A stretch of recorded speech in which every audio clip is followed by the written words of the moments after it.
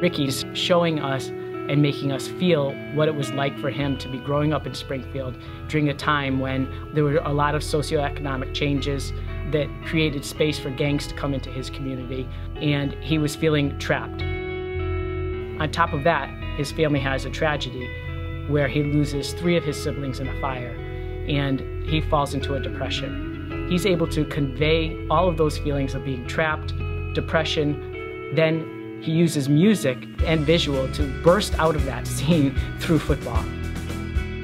All of a sudden, the music picks up. He's running across an open space, and you get this experience of freedom and hope that comes with football for him that brought him out of this time of feeling hopeless and full of despair. You know, I, I choked up watching that film. I still do.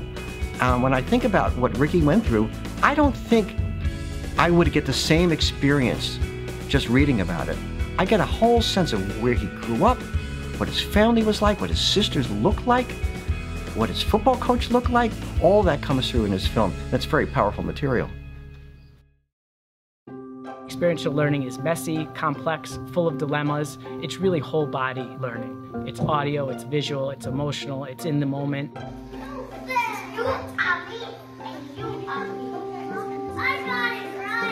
Through film and video, you can really put the person in that experience with you.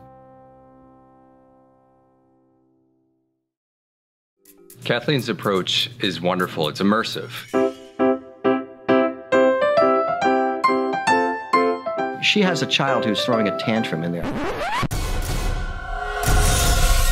she knew that she had to show that crucial scene in there because she's talking about how important it is to understand what's going through that child's mind and how difficult it is to be a preschool teacher. So she was thinking through what exactly do I put in this film at this time? These are all skills that the students are learning in the class. And of course, when they get together and talk about it, they say this worked for me or it didn't work for me. And that's all part of the process.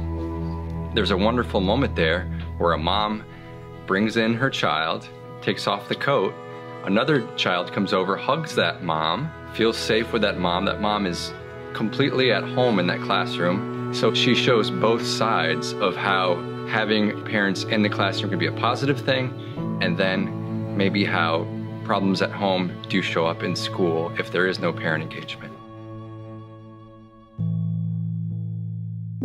Using film and video, people can convey the critical thinking that we often look for in portfolios, that higher level thinking that is required for college level learning to, to get credit for the learning they've achieved.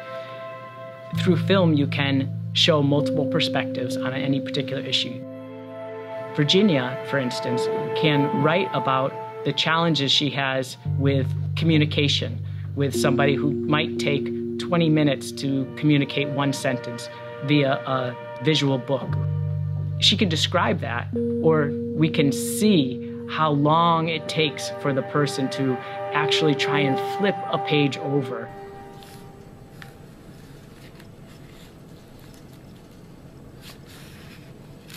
With her film, she can create empathy from the viewer for the person she's talking with and for her as the person trying to communicate with her. And empathy is a really important critical thinking skill.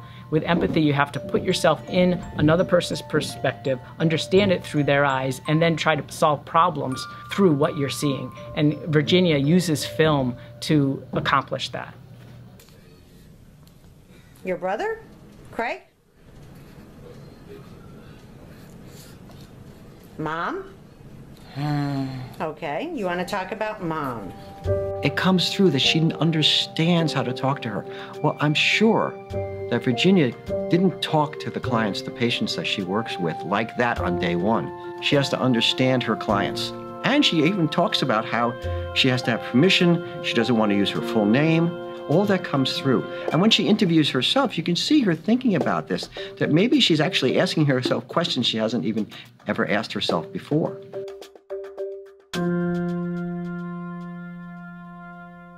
Lot of people have no trouble talking to other people, pulling out answers from them. We do it all the time, that's a conversation.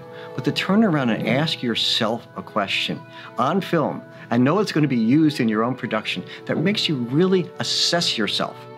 And experientially, you have thinking yourself, what did I really get out of this? And how can I express that in a way? So when somebody sits down and does a self interview, they're really struggling. How do I set it up? What's my location? How do I look? But also, how do I speak to this in a way that's honest and true to myself? If you don't know too much about the timber rattlesnake, some of the comments might sound pretty logical to oneself, but fear has the ability to convince the mind that what they're thinking are indeed facts or some of the irrational fears that people might perceive are true. And that's not the case. What you see on the screen is the result of a long writing process. The first thing we ask the students to do is to write a one page, what is their idea for this?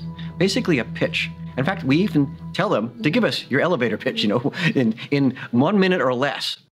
Through interviews with and the stories of people of various races, abilities, religions, sexualities, and gender identities, my film, You Don't Belong Here, explores a concept that scientists and activists have recently begun studying, suggesting that it is not macro, but micro interactions, such as face to face personal conversations, in which stories of social oppression can actually impact people, encourage empathy, and motivate changes in oppressive behaviors. Wow. Is it long? yes. I like really it, but long. And then we say, give us a five page proposal. And not just the story of the film, but if you had a web page, what would be in that web page? Who are the key interviews? What are the locations? Really think it through. This is not casual. Right? This takes a lot of effort. And this is part of media literacy. I think that one thing that people make a big mistake on is they think, well, you know, such and such is just a book or it's just a TV show. Um, but I think that that's a very small minded idea uh, because really the media that we consume is reflective of our culture. And our culture similarly reflects our media. They work together, they affect each other. So if we just sit back and are passive consumers, um, when problematic things happen and we don't stop and think and talk about them, then I think that it has really, really bad ramifications on our society as a whole.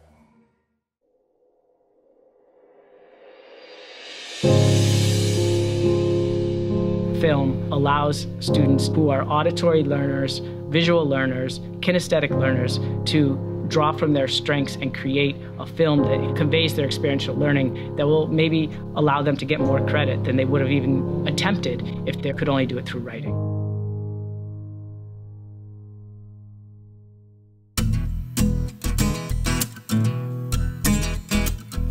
They're all working on each other's films. They're all learning from each other.